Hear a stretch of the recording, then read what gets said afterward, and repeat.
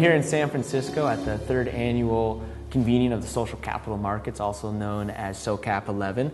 And this is a real treat because we're here with Bob Pattillo, who is an iconoclast, a trailblazer, and a leader in the space Can of you the spell social that? capital Iconoclast? I think I could spell it. I've written it out one or two Hey, times. I'm from the South. You It's know, easier. it very slowly. It's easier than entrepreneur. I still spell that wrong yeah. all the time.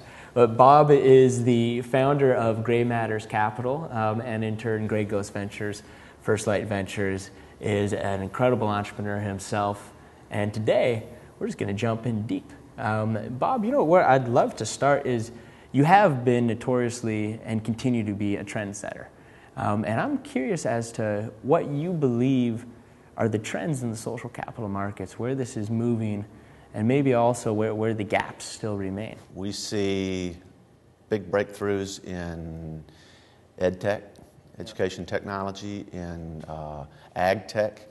We see there's a company called Carigo that, that has it's like a clinic in a box in in uh, Nairobi, and you would be amazed at the quality of the care that people are getting for uh, a 75 cent visit. There's a whole conversation about whether uh, these investments, whether you have to trade off, whether you have to forsake uh, financial return for, uh, for social impact. And I don't believe you do. I don't believe you do. Now, I'm one of the few that think the two actually can reinforce each other. Right. Mm, And where, where do you think are the, the biggest gaps in this burgeoning market of social capital? The whole power structure of investment is bass backwards. It really, really is. It, it encourages uh, a whole promotion mentality, a, a investment dance, you know. And so, why would I want to tell you about what I'm really need help with? You know, I want to tell you what I'm super good at, right? So I paint this picture of invincibility to you as, a, as an investor. You buy into that. It's destined for struggle. Companies are really created; hmm. they're not born. Absolutely. So you, you have to uh, go through an iterative process that uh, and try stuff. You know that's where boldness comes from, and it won't always work. And so you be- have to be able to be agile and change. I, I would really like to be part of spiritualizing capitalism. Financial capital is a tool that can be used to, to benefit mankind, but it does require building on solid relationships, building on care, building on trust, building on your loyalty as an entrepreneur, your imagination, and, and doing this together. Yeah.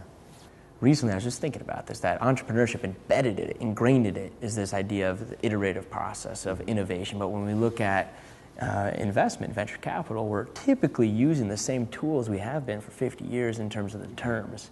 Are, are you starting to see new term sheets develop um, or different ways of placing capital when the exits aren't as clear? I see three uh, opportunities for exit that are a little unusual. That's right. uh, for, for early stage uh, companies. Um, first, um, you are seeing uh, conventional VCs. You're, there are probably 300 solid impact investment funds.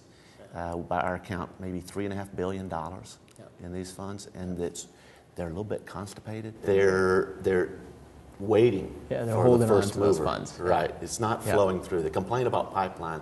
Yeah. Pipeline's there. Yeah.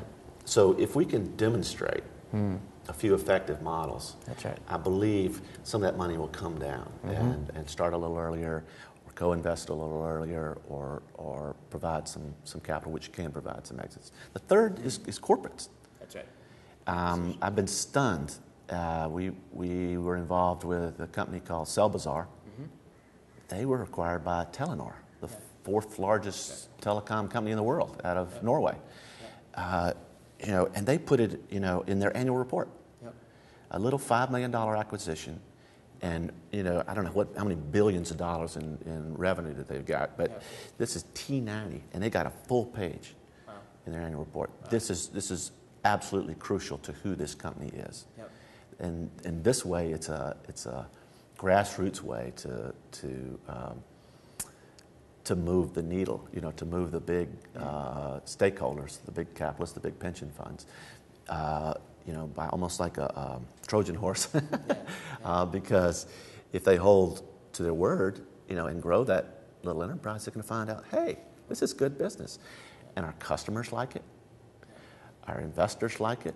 You know, the the nurses that have their pensions with TIAA-CREF, or the teachers, or the artists, they're happy that we are helping do something good in the world.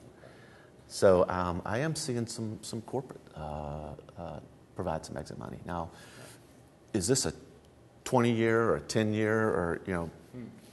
I'm terrible with timing. Yeah. Okay, so I may be hanging on to these and, and nursing them along like, you know, when, please, right. you know. Right. At the same time, it may it may just happen. may leave, happen room, leave room for grace. You That's know. right. That's right. this thing might tip a little bit. Yeah.